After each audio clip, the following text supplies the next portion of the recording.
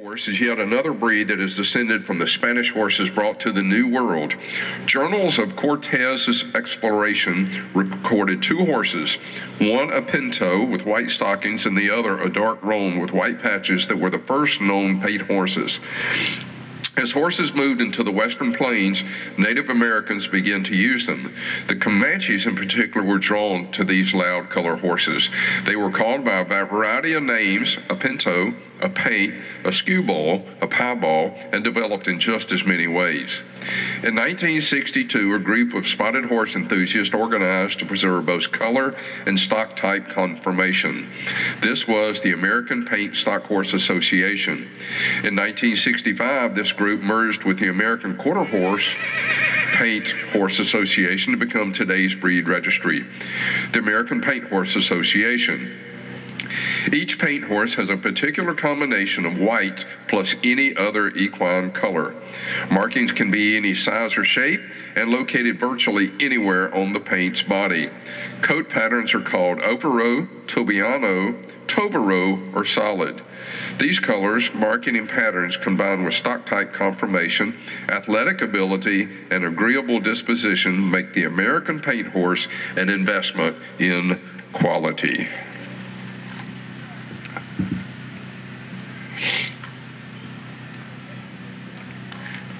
Let's give Suzanne and Miss Sherry Miller a round of applause. And next coming up, we've got Mr. Keith Isley on the American Quarter Horse. And this horse is Badger. And we're going to hit two balls with, uh, or yeah, two balls with one hit right here. We also have the Palomino together. So this being a, a, quarter horse and a palomino in color. This is a 15-year-old horse named Badger. The American quarter horse began in the 1600s as a cross between native horses of Spanish origin used by the colonists and English horses imported to Virginia. By the late 17th century, these horses were being raced successfully over quarter mile courses in Rhode Island and Virginia, and hence received the name quarter horses. The quarter horse was bred for performance and had considerable thoroughbred blood as well as traits of other lines. In the early 19th century, quarter horses were overshadowed by thoroughbreds, which ran better over long distances. They soon found a new acceptance in the western U.S. as stock horses. The breed's inherent quickness and agility made it ideally suited for tasks of the developing frontier. Its good natured disposition and natural cow sense made the quarter horse a favorite among cowboys in the open range area of the West.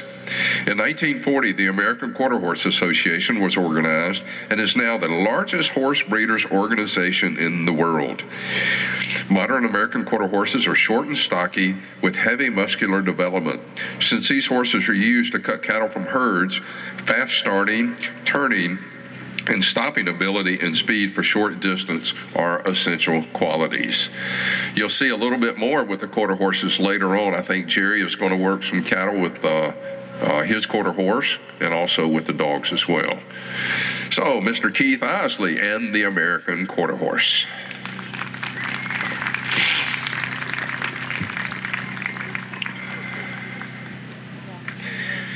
And the Arabian the majestic horse. This is Miss Natalie Andrews on a four year old named GF Verizon. She competes in the hunter pleasure under saddle. And this horse, I think, is currently in training with Mr. Shannon Clark here in Pittsboro. The American horse, or excuse me, the Arabian horse. 3,500 years ago, the hot blooded horse assumed the role of the king maker in the East, including the Valley of the Nile and beyond, changing human history in the face of the world. Though the Egyptians were made aware of the vast world beyond their own borders by harnessing the horse to their chariots. The empires of the Hittites, the Osiris, the Babylonians, and the Persians rose and fell under their thundering hose. His strength made possible the initial concepts of cooperative universal society, such as the Roman Empire.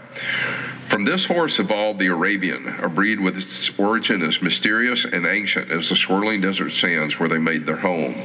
Historically, the Arabian breed was a war horse capable of withstanding the extreme conditions conditions of the Arabian desert and covering long distance while moving quickly in and out of battle. The traits that were bred into the Arabian through ancient times created a versatile horse that is beautiful, possessing incredibly energetic, intelligence, and gentle disposition. Today's Arabians used for ranch work, pleasure, and trail riding, and their shows are full of the pageantry and color of days gone by. With side saddle and native costume classes, as well as the regular disciplines of English riding and driving, hunt seat, dressage, and Western riding. Ladies and gentlemen, the Arabian with Natalie Andrews.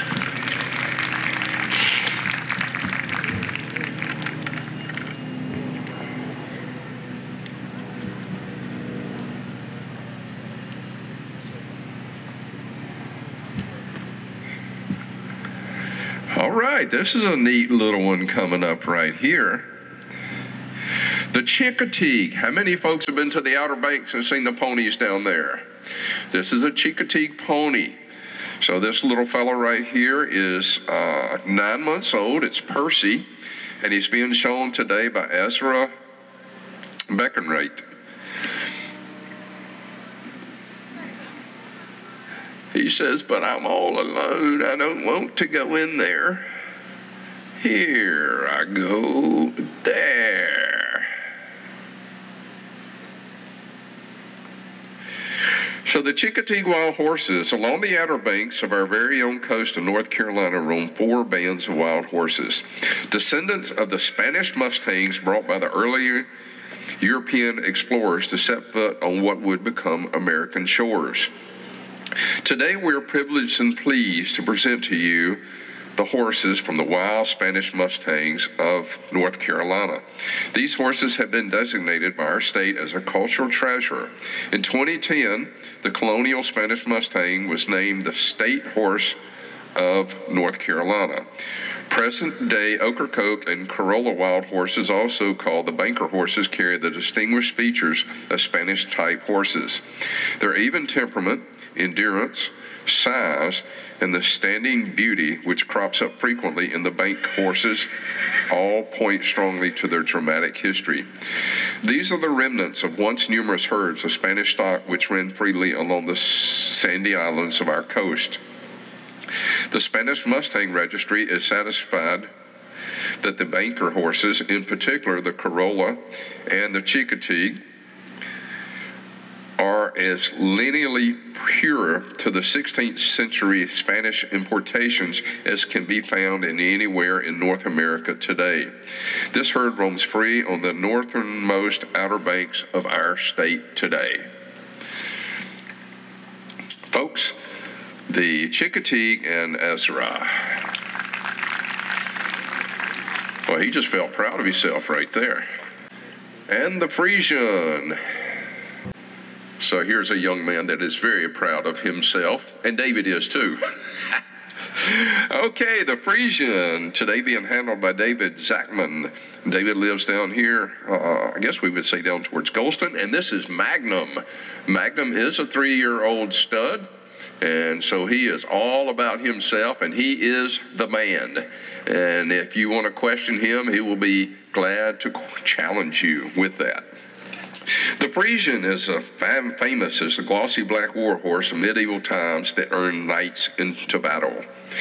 The breed originated in Friesland in the Netherlands. Conformation of this notable breed resembles that of the light draft, sturdy enough to carry a knight plus all of his armor, yet move with power and surprising grace and nimbleness. The Friesian successfully evolved past its warhorse heritage, and in the 18th and 19th centuries, they were in demand as harness horses for agriculture work as well as the trotting races that were so popular then. The Friesian became the horse of choice to work on dairy farms in the Netherlands, but as farms became, became mechanized and horses were being replaced by tractors, the breed's survival was threatened. World War II slowed this down, however, as gas scarcity allowed the population and popularity of the Friesian to rebound. Yet another miracle occurred when the Strasbourg family, fleeing Nazi Germany for relocating in the Low Countries, discovered the show qualities of the Friesian. Using these horses in their circus performance exposed a wide range of people to their abilities, beauty, and intelligence, and thus the world began to notice and save the incredible Friesian. Most Friesians today are black in color, although the occasional chestnut can be found. They rarely have white markings except for a small forehead star. They are also recognized by long, thick mane and tail and feathers, long silky hair on the lower legs, deliberately left untrimmed. Today's Friesians are used for dressage or pleasure riding and competitive and recreational driving, single and in teams. Their striking appearance and high stepping action makes them a popular television and movie participants. Ladies and gentlemen, the Friesian, Magnum, and David Zachman. And the Haflinger.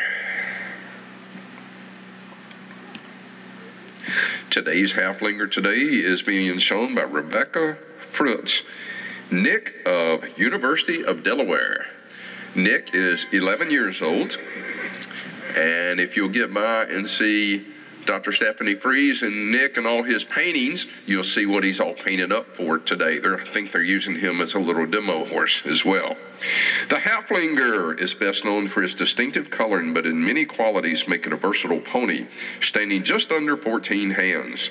The most notable characteristic of the Haflinger is its striking coat color, a golden chestnut color with a white or flaxen mane and tail. It is sturdily built with short, well-boned legs and featherings at the fetlocks. Haflingers are known for their willing but docile temperament and their uncomplicated nature. The modern day Haflinger was christened in 1874 in Austria. A refined mountain mare, bred to a proud half Arabian stallion, produced a colt named Folie. Today, all purebred Haflinger horses trace their ancestry back to Folie. The first Haflinger horses breeds were imported into the United States in 1958. Today, the Haflinger can be found in all corners of the world and is used as a pack horse and for draft work as well. Teams of matching Haflingers are popular in combined driving competitions and is versatile enough to do well under saddle often participating in endurance competitions, dressage, show jumping, and trekking. Their size and calm nature make them a perfect fit for therapeutic riding programs. Whether your interest is trail riding, driving, or simply owning a delightfully family horse that you can trust with your children, Haflingers do it all with a smile. Folks, the Haflinger and Miss Rebecca Frutz. And Nick.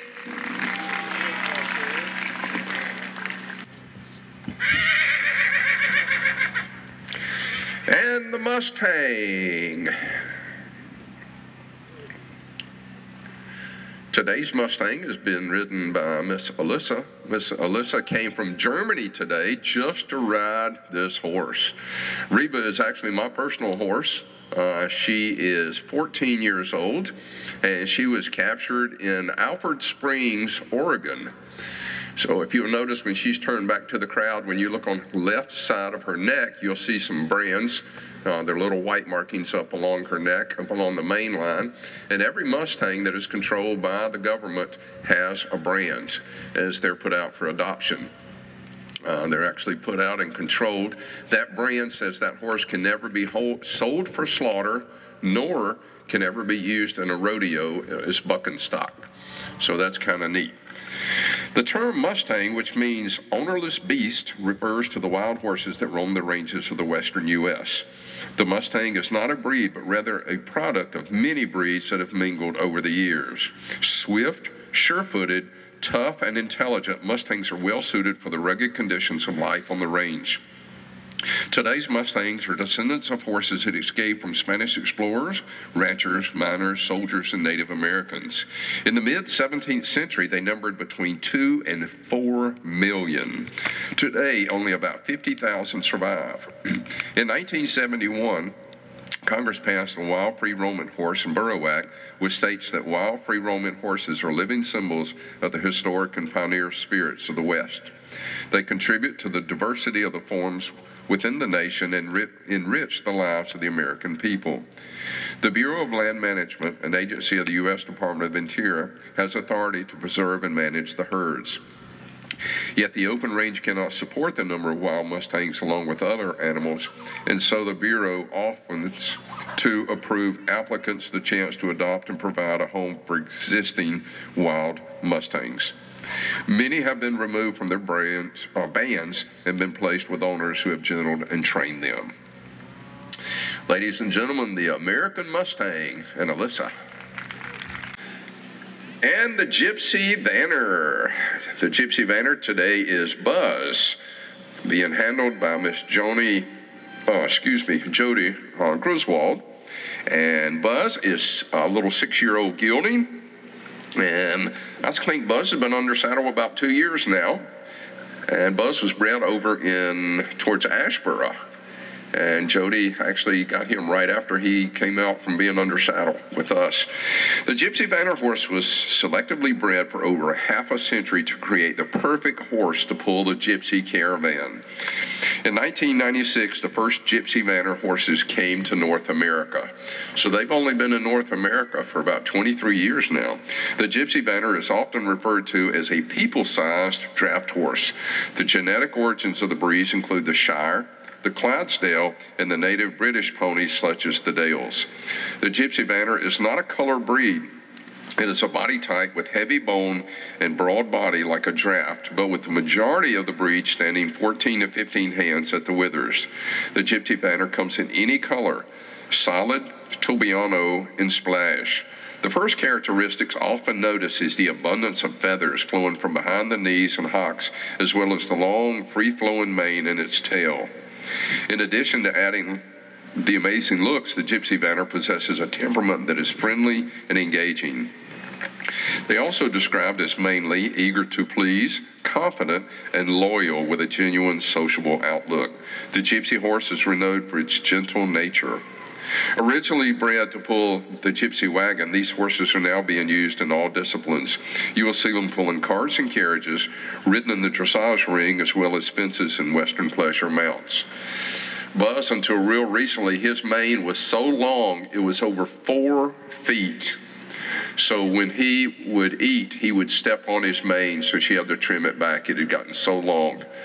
So that's why his mane is short like it is but in no time it'll be hanging way below the girth of his neck. So we have Buzz and Miss Jody from a Gypsy Vanner.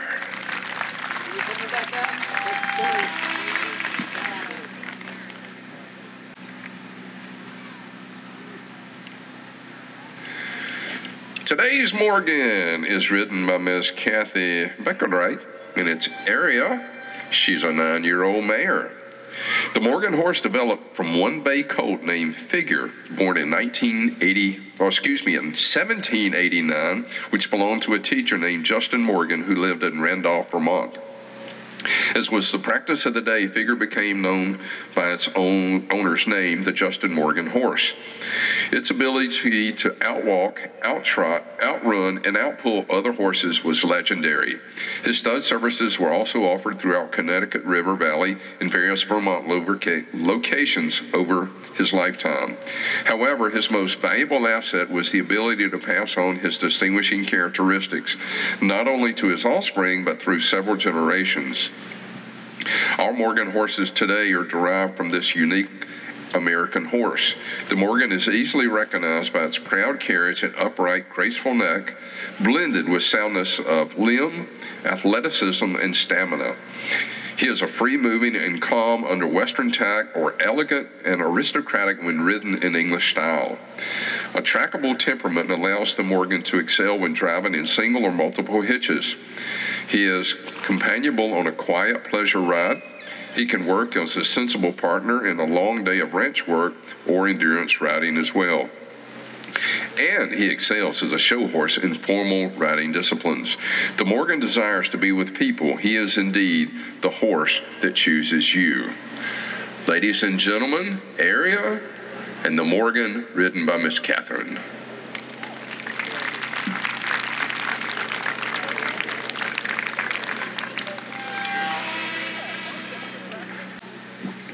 and the Lusitanos.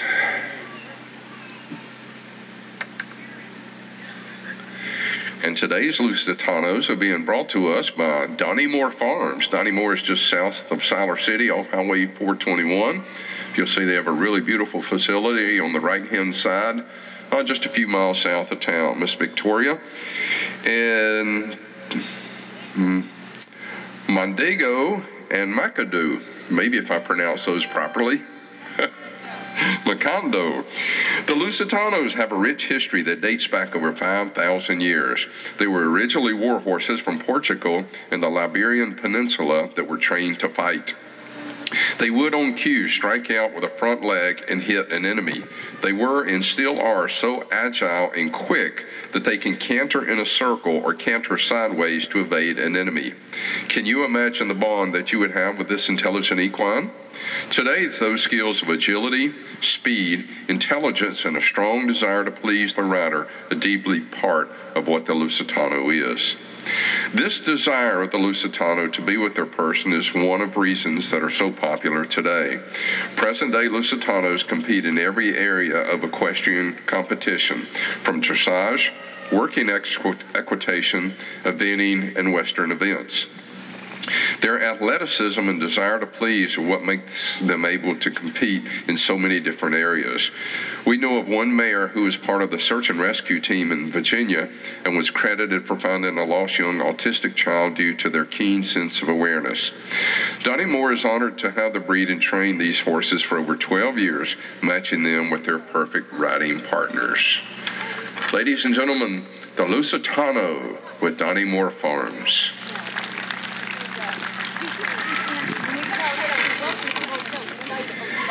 And this will conclude our show of breeds today. Thank y'all so much for your attention.